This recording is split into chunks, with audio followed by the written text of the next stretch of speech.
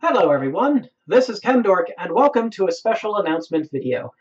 Uh, you might have been noticing that there have been less videos than normal, especially for the past two months, and that was because two months ago we, uh, we well, we had another baby, and um, I've become a super daddy-o once again.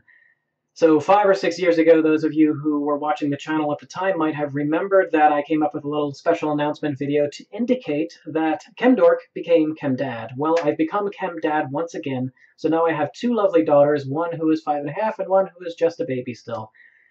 As you can imagine, there's not a whole lot of free time that I have for recording videos, but luckily now it seems to have sort of stabilized a bit so that my free time is once again my own a bit. So I will be able to have time to record videos finally, and um, this will be good news for you all because we'll be continuing the series of Kerbal Space Program, where we still have to meet up with ships, dock and create space stations, and explore the Kerbal system a, a bit further. And uh, secondly, of course, we'll be coming out with Season 3 of my Buildcraft. And I know a lot of you have been looking forward to that, as, uh, as have I.